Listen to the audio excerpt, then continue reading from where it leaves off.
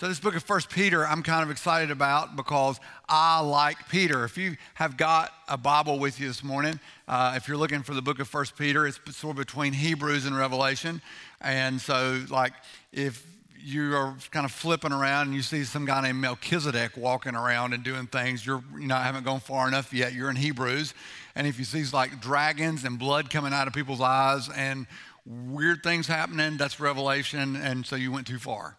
Uh, so it's kind of in between those two. You'll find it uh, there pretty quickly, I hope.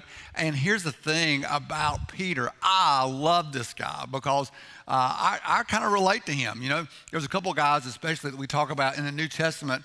Uh, other than Jesus, and we talk about Peter a lot because he was one of the leaders of the disciples. Uh, we also talk about Paul. Uh, and Paul, he's that guy. I look at Paul and I think, you know, that guy, he's got it all together. He's educated. He's got a good looking haircut.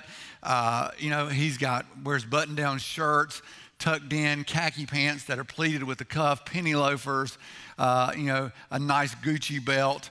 Uh, I see that guy all put together. Then there's Peter. He's like a fisherman, and he sort of talks Southern, is what I figure. And he wears uh, Crocs and camouflage pants. He's my kind of guy. Uh, so I, I, I, like him a lot, you know, because if you ain't crocking, you ain't rocking, right? So uh, I have orange Crocs. I know some of you are like today, where's your orange? Well, it's because it's not clean, but it'll probably make an appearance next week. Um, but anyway, here, here's the deal: is that is that Peter is a lot like a lot of us in that he really chased hard after God uh, and and really wanted to walk closely with Jesus, and then he would kind of mess up. You know, this is the guy that that uh, you know that Jesus on the one hand says, uh, you know, Simon, blessed are you uh, and then five minutes later, he's like he called him like Satan, like you're, you're doing what the devil wants you to do. And you know, and Peter says, "I will never turn away from you." But then he denies him three times. Uh, and, and, just one thing after another. He's kind of, hey, I'm there, I'm here, I'm there. And so the, the author, let's do a little background here on this book. So the author is Peter, and, and A.W. Tozer says this, and if you're not familiar with A.W. Tozer, you should be. You ought to read some of his books. Start with the, uh, the Pursuit of God. That's a good one to start with. Uh, it says, the Apostle Peter is a bundle of contradictions. I love that quote. I think I would like to put that on my tombstone uh, Arthur, a bundle. Of, he was a bundle of contradictions. I, I, I, love that because on the one hand, he was really chasing hard after Jesus and was walking right with him, and then he goes and does his own thing and says, "Oh, I screwed up. I should come back. I should come back."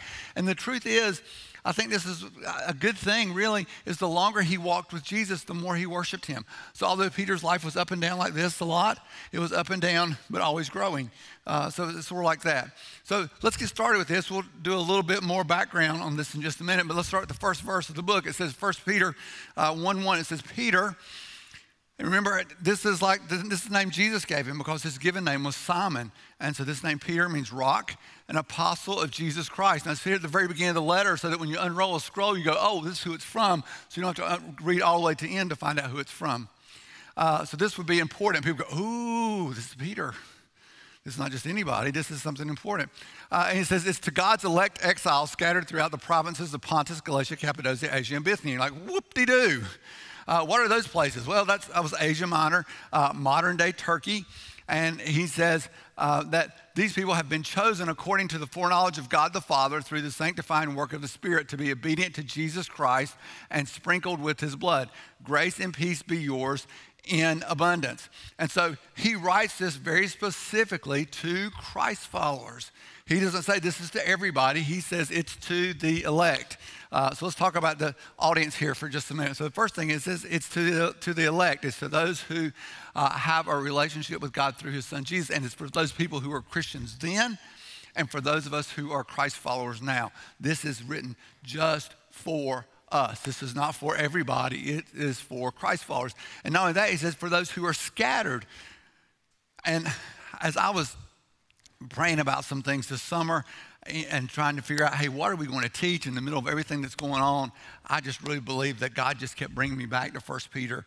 Uh, and that's where we get the, this name uh, of the series, Scattered, from the very first book, because what happened is the Christ followers, uh, they didn't know that this was going to happen, you know. Uh, 3,000 of them coming to know Christ, 5,000 of them coming to know Christ in Jerusalem. And it's just like, and it's, it's, it's, it's incredible. And then a little bit of persecution comes, and they get scattered.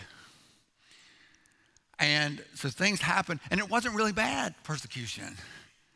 Now, if, and he'll talk about this morning as we go through this passage, he'll talk about his various trials. And so there were different things. But and then later on, becomes fiery trials, he talks about.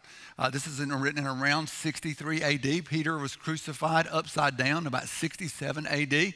Uh, he was crucified upside down because he said, according to church tradition and some extra biblical sources, that he did not want to be crucified in the same manner that Jesus was crucified. So he asked his captors, could he please be crucified upside down so all the blood flowed to his head? Probably a pretty painful way to die. Um, but that they had been, the, the, the Christ followers had been scattered and they had been all together. And I, I brought this little salt shaker with me today because, I, you know, I think sometimes this is, we think this is great. Uh, and this is sort of what, what church can become. You know, here we're, we're all in the salt shaker together. And this is great. And we can all be in here and we can all be salty. and we go, ooh, look at how salty you are. Well, you're not as salty as I am. I'd like to be salty too. And, and, we can talk about, we can compare, you know, are we a big grain of salt or a little grain of salt or are we more salty than the others? And we can, we can do all this kind of stuff. And it's great because it, it, it's safe and all the salt in here feels like, oh, I'm in a good place and I understand where I am and there's not much going to change and all this kind of stuff. But you know what? The, this salt, as long as it stays in the salt shaker, it's almost useless. But when you scatter the salt, it becomes very useful.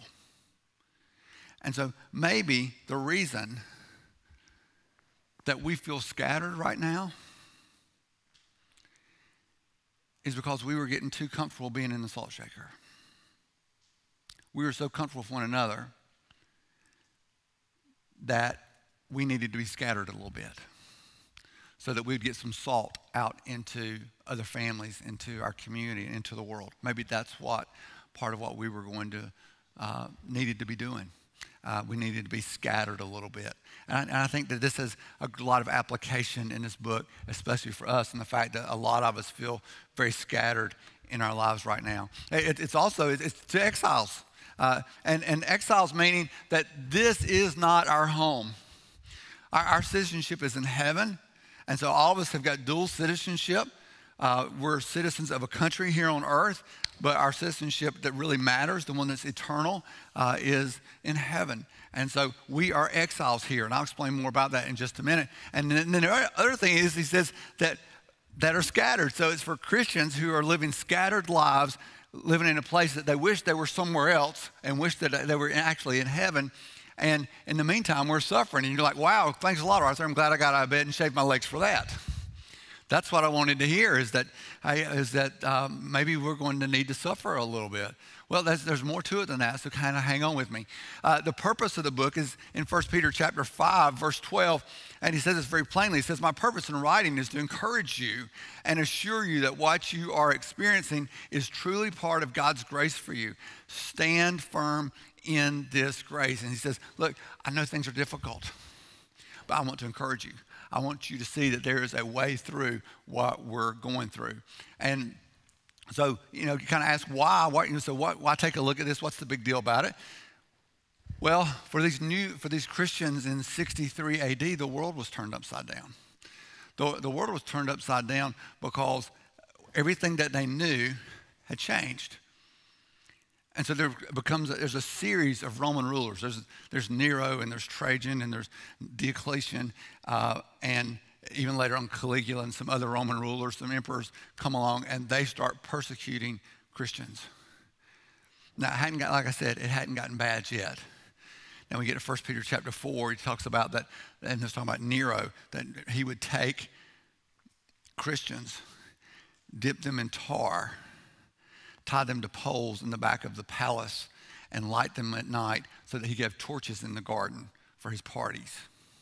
Uh, the, there are a lot of historians who make the argument that the Colosseum, and maybe you've been to the Colosseum, uh, and it's a be- I mean, I've been there. It's, it's, it's, beautiful. It's impressive. You know, you go to Colosseum, get some great pizza across the street. Uh, you see Hadrian's Arch right across the street. You see all kinds of incredible things happening there. Uh, see Titus's Arch uh, and all these victory things that are there. But a lot of people would make the argument that the Colosseum was built so that Christians could be tortured and killed. Uh, and so, uh, pretty remarkable kind of architecture that happened 2,000 years ago. But on the other hand, you think, what was it really for? Because here's the deal: is Rome ran the world at this point in time. Uh, everything was ruled by Rome. And the Roman Empire was impressive and it was huge, but they had really started drilling down on Christians, and it was not popular to be a Christian. And so what happened is these Christ followers come along and they say, We're going to live our lives differently. And, and, and, and the Roman Empire did not like that. They didn't like the fact that they were going to live their lives differently. Uh, you, know, for, you know, for instance, uh, you know, there was uh, people went to worship, and the priest and the priestesses functioned basically as prostitutes. And you were supposed to accumulate all that you can. You were supposed to be stingy with your money and free with your sexual relationships. Uh, your spouse was just to be your heir, was not necessarily someone that you shared intimacy with. And on the other hand, uh, so Christ followers come along and they say, hey, no, no, no, no, we're going to be generous with everything that we have. Uh, we want to give away things, and we're going to be very intimate with our spouses, and we're not going to share spouses, and we're not going to worship uh, with prostitutes, not going to do that. Uh, and so uh, people are like, hey, I don't like that. It's a change in culture. And so the, the question sort of is, is how, how do we thrive and endure during such a time of persecution? What, what do we do? Because our, our persecution is not that severe. I, have got a little graphic to show you. Because here's sort of what our, our persecution is, uh, is right now. We, we've got, uh, we're, we're dealing with justice issues, good cops and bad cops. We're for, you know, we love, everybody, we love good cops. Uh, you know, we we got economy issues that are staring at us and coming after us, government overreach, because uh, you know some people think that's way, way, way. We don't want more government. We want less, less, less. Let us live our lives, please. Uh, our, our church is going to meet. Most churches in America are still not meeting. Uh, Newnan, LaGrange, we're sort of outliers. Uh, some of you have traveled a little bit and you see other places, and you, I mean, you even go downtown Atlanta, it's a ghost town. Uh, uh, I've, I've traveled a little bit in the last five or six months, and you know? I go to the place and I'm like, wow, it's like it's like nothing, no virus even exists in Newnan compared to other places. Uh, but a lot of places are, are, not, not even meeting. And even when we meet, it's, we're, we're, still very careful and it feels a little strange and it's not quite right. Uh, and, all that kind of, and then we've got all these public health issues. And, and these things are all you know, sort of jumping on us and pounding on us a little bit. And it's hard for us to, uh, to kind of process this sometimes. And, and, and the suffering that you are doing it's not a contest. Don't compare your suffering to someone. So, well, I'm, I'm suffering more than they are. No, no, no, no, no, don't do that. Because there are some people who, who are very, very um, worried about things, and some people worried about different things.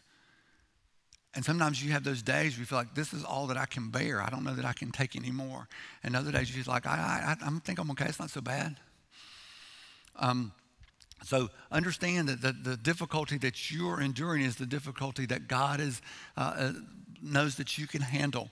Uh, and He's not going to give you uh, too much to crush you, but He will do, uh, let you have enough to where you realize that you can't do it without Him. Um, and, and so uh, non, non-citizens can, can be sort of three different things we can look at here. you mean immigrant, uh, meaning that I, am going to choose to move somewhere and that's where I want to live. Uh, that there are millions of people around the world that would love to come to America. There are millions of people around the world that hate America. Uh, not everybody wants to come here. Not everybody thinks this is Shangri La. Uh, but there are some people who say, Yeah, I, I, really want to come here. And they, want to say, I want to move there. Uh, then there's, there's a tourist. Uh, and this, this is like, a, uh, this is going to Disney World. okay? Nobody lives in Disney World. It's the happiest place on earth right? But you go in there and you walk around and then you, you spend a lot of money and then you leave. Uh, and you, it was, then you go, this is really the happiest place on earth, or not so much. Um, and then the, the third category is really an exile. Now, here's the thing about an exile, and, th- and this is what Peter says. This is how we are living as Christ followers. A few things about exiles. Uh, the first thing about exiles is that we should make our home here until it's time to leave. Uh, and so uh, that means that we're not going to try and fit in, but we are going to live here. We're going to build relationships. We're going to love on people. We're going to encourage people. We're going to listen to people. We're going to do uh, things in a Christ like way, but we're not trying to be like the people who live here. uh, we have different values and a different authority. And so that means that just consequently, we live a different kind of life. And so that means we're going to appear to be weird to those people who don't share our values. Uh, a few years ago, we went to, when my, my oldest son was studying in Spain. And so for so we about halfway through the semester, uh, we jumped all my family. We jumped on a plane and met him in Paris.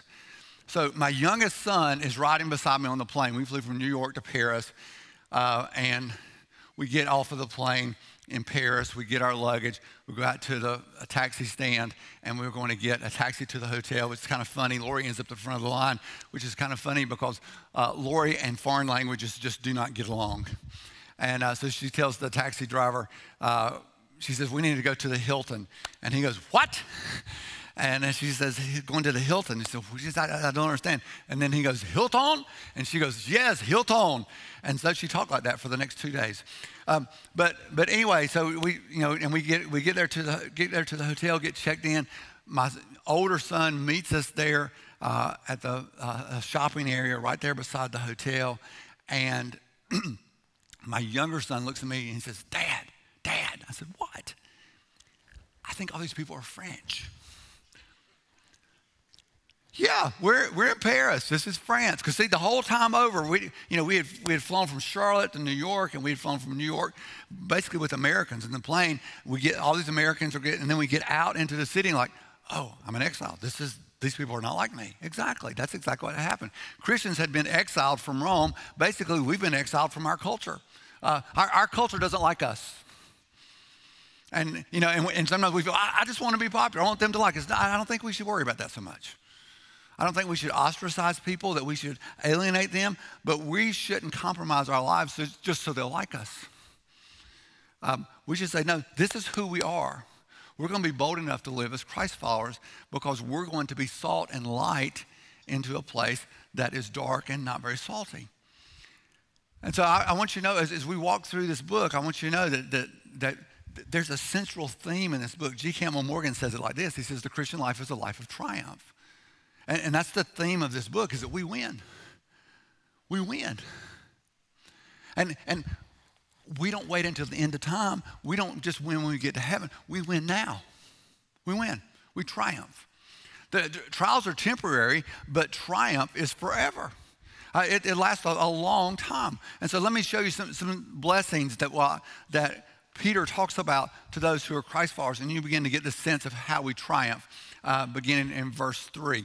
It says, Praise be to the God and Father of our Lord Jesus Christ. In his great mercy, he has given us new birth into a living hope through the resurrection of Jesus Christ from the dead. So he has shown us mercy and kindness, even though we don't deserve it, because mercy is not getting what you deserve. He shows us mercy, and this mercy of not getting what we deserve, which is wake up in hell today, that's what we deserve, but instead, He has given us new birth, and it's a, a that results in a living hope. It's not just a medicine, it is something that is a tug on us. And I'll finish this up with you in just a minute through the resurrection of Jesus Christ from the dead and into uh, an inheritance that can never perish, spoil, or fade.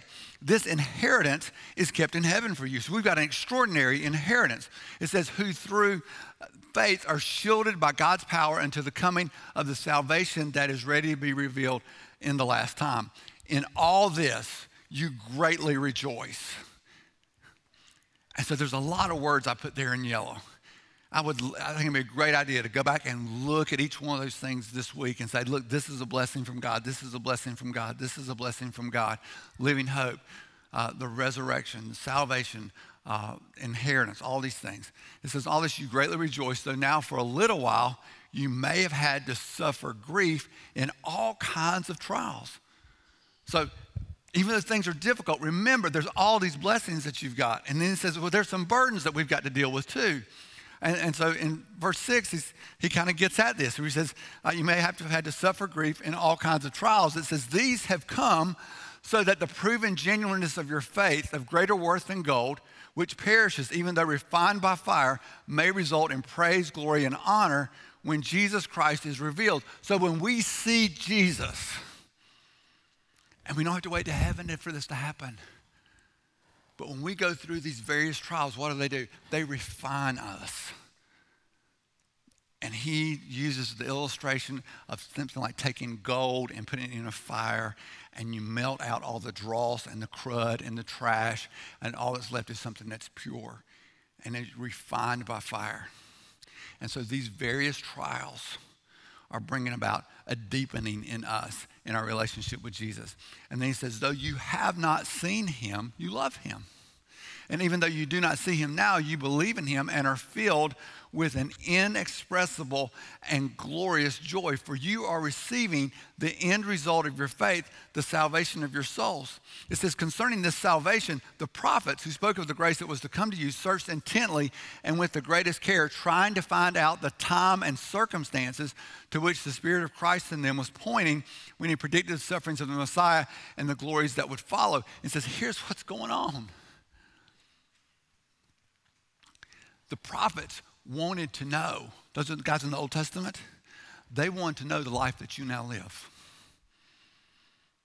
They would have gladly endured any amount of suffering to know Jesus like you know him. Because, see, they're on the other side of the cross. We're on this side of the cross. He says,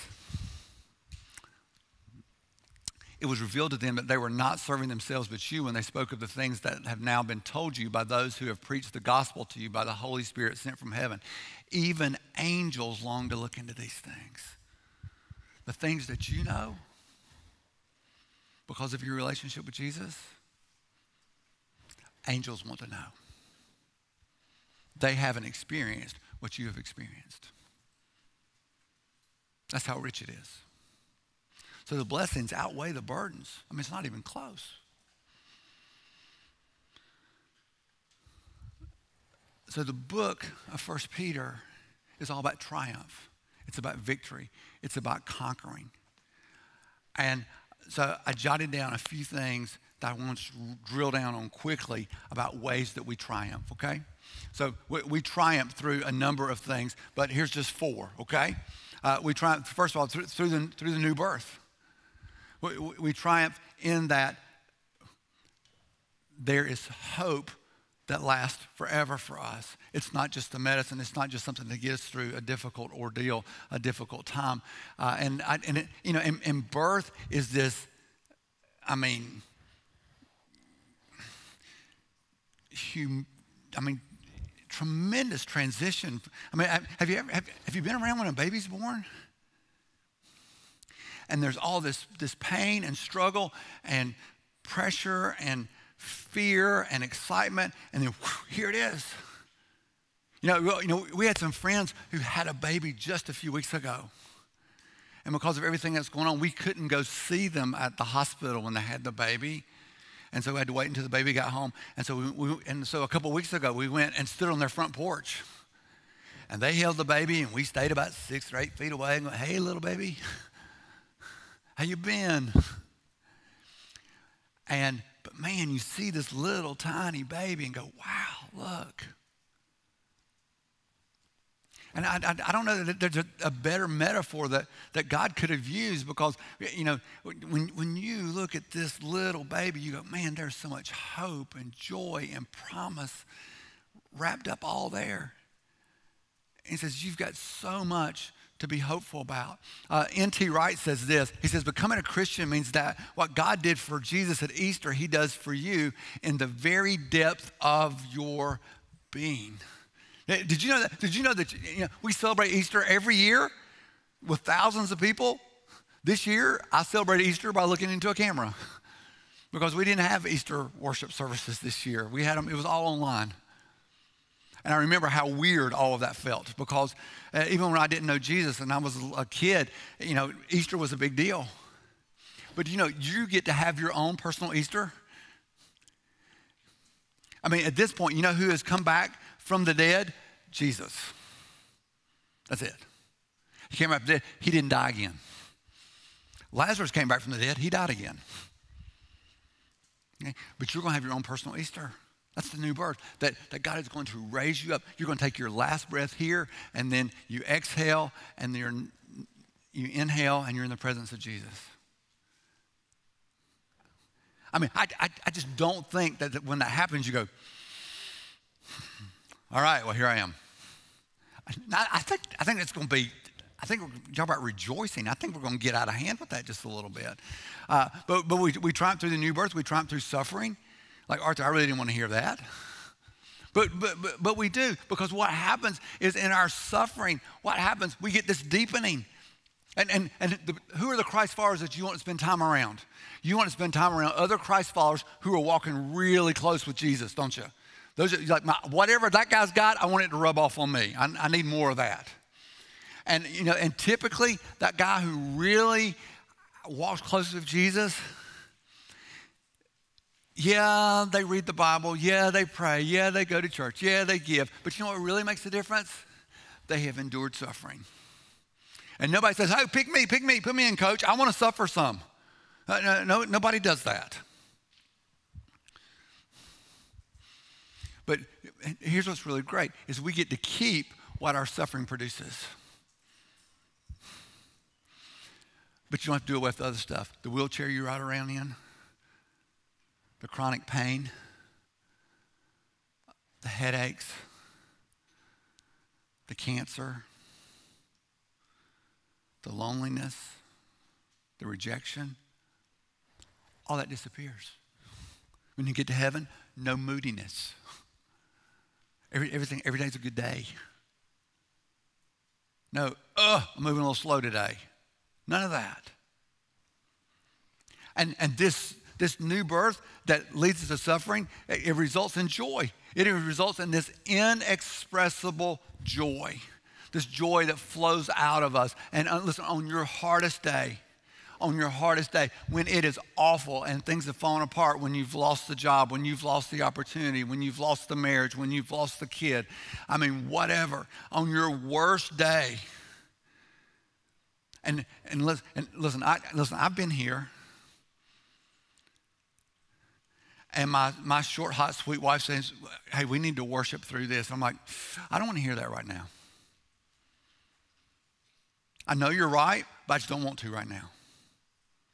And I, and I try and worship the Lord through gritted teeth and a hardened heart and an angry spirit.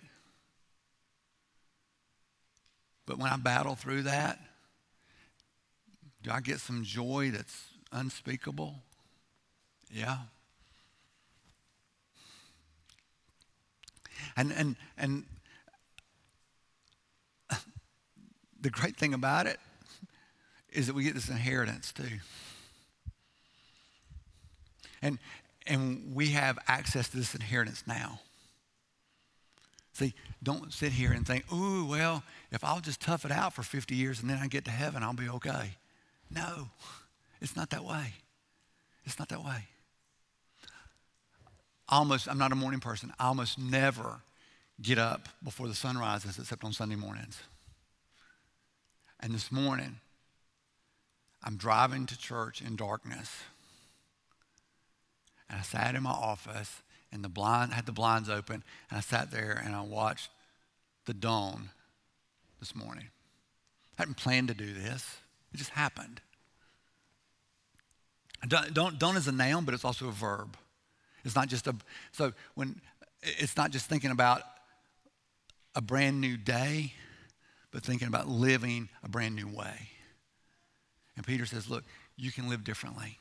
You don't have to keep living the same way that you're living. You, you can, because you've got this inheritance. And, and here, here's the thing about this inheritance. Ordinarily, what triggers an inheritance is death. What triggers our inheritance is resurrection. Have you ever been a part of a family fight over an inheritance? Right? Because ordinarily uh, that, that it, it, drives people away from one another, but this inheritance drives people into relationship with one another. Instead of uh, away from one another, uh, it drives us into relationship with one another. Instead of something uh, ordinarily an inheritance divides people, I'll take mine, you take yours. It divides families. An inheritance creates, our spiritual inheritance creates relationships, creates family. Instead of it being about belongings, it's about belonging. Instead of being about stuff, it's like I got somebody to stay with. Instead of saying, well, I'm, I'm, I'm, I'm out of the will, because you're always having to tiptoe around. I don't want to make that person upset because they'll write me out of the will. I want the inheritance. Instead of it being about out, it's like, hey, you're in. As a matter of fact, check this out. This is as good as it gets. When we were at our worst, he wrote us in. We were terrible people, we hadn't done a single good thing, he says, You're in the will. You get it. You get everything, every spiritual blessing under heaven.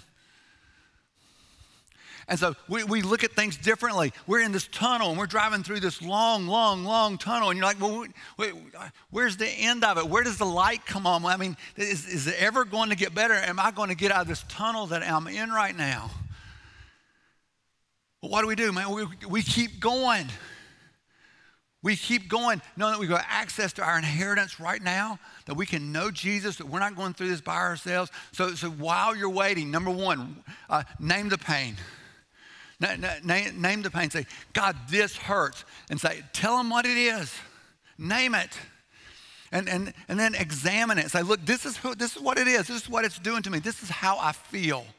And, and then, uh, then, then, then compare it. C- compare it to your inheritance.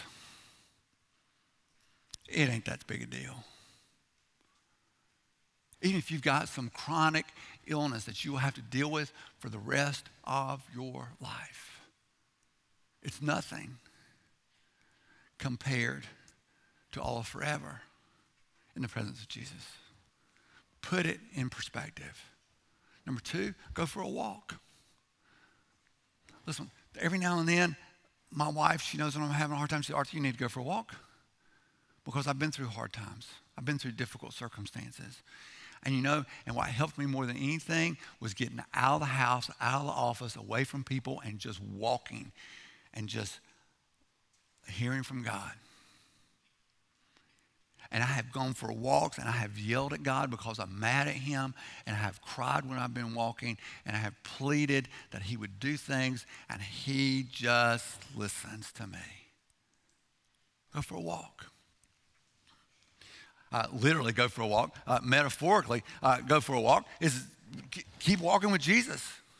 As you're going through this tunnel, keep walking through the tunnel with Him. Don't, don't walk away from Him. It, you're not going to be able to handle it so well by yourself. And, and, and vicariously go for a walk. What, what, do I mean by that? I, I mean that remember that there are people that would give their left arm to know Jesus the way that you know Him.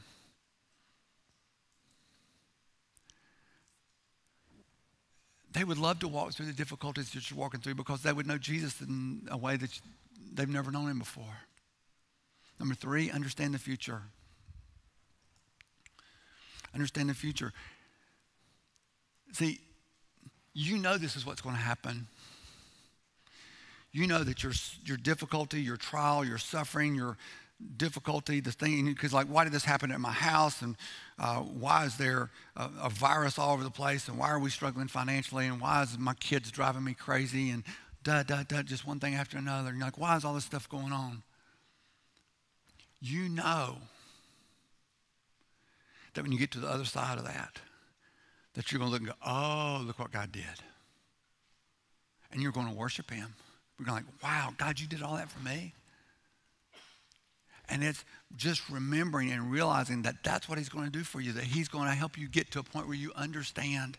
And when you, if you would think ahead to the future, this is for my good. He's going to do something for me. And listen, I, that is hard to do. I have been in situations where I just want to lay on the floor and just leave me alone. Just don't talk to me right now. But say, no, he's going to do something powerful, and I'm going to understand the future, and that's what he does. And the last one, number four, is feel the tug of home. Feel the tug of home. So, see, what happens, Hebrews says that this living hope that we have is like an anchor for our soul.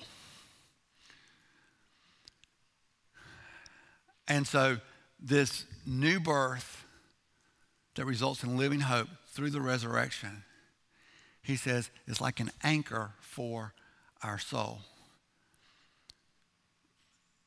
Meaning, it's not just, a, oh, help, I hope I feel better, but I am tied to my inheritance and my promise that's in heaven.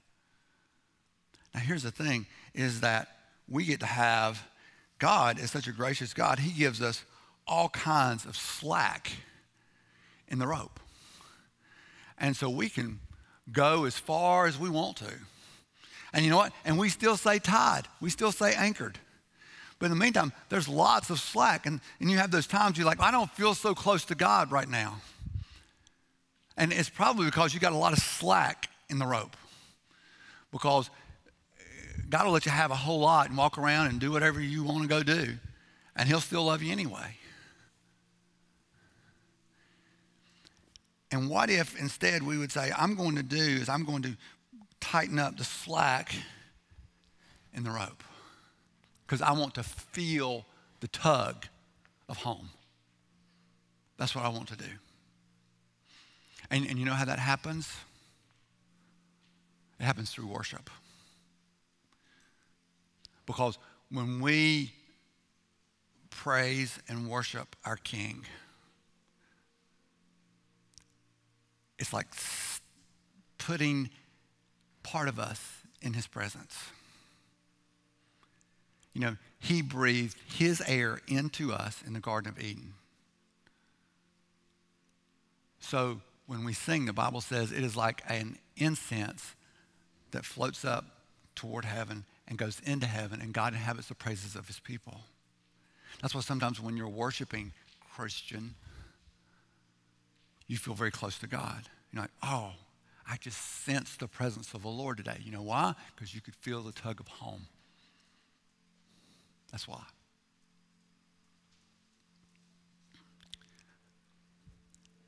So if you want to have a little more steadiness in your life, you want to feel the tug of home, be sure and be close to God, worship Him. It's what we were made to do anyway. God didn't need a friend. He wasn't lonely. He meant to be worshipers. Warren Wiersbe says this. He says, This hope does not put us in a rocking chair where we complacently await the return of Jesus. Instead, it puts us in the marketplace and on the battlefield and keeps us going when the burdens are heavy and the battles are hard. He said, Hope is not a sedative, it is a shot of adrenaline.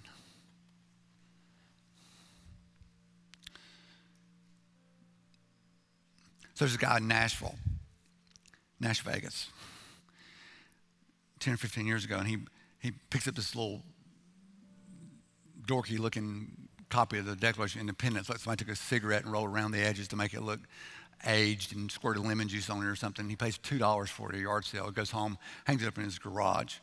His name's Stan Caffey. And so he's got this thing hanging up in the garage, and he just kind of, you know, because it was just something to do. He had posters and everything. Like, oh, whatever right? So, uh, and then he decides he's going to get married shortly after that. And so he and his fiance are combining households. And so they're kind of going through what are we going to keep, what are we going to throw away. And so it's kind of, you know, you're keeping the socks? Yes, I'm keeping the socks. You keeping the, the pitcher? Yeah, I want the picture. No, get rid of the picture. So she, you know, she says, yeah, get rid of the picture. He says, yeah, I'll get rid of the picture. Declaration of Independence, right? So they have a yard sale because they're combining households. Uh, he sells it for $4. He thinks, well, I bought it for two. I sold it for four. I'm doing okay.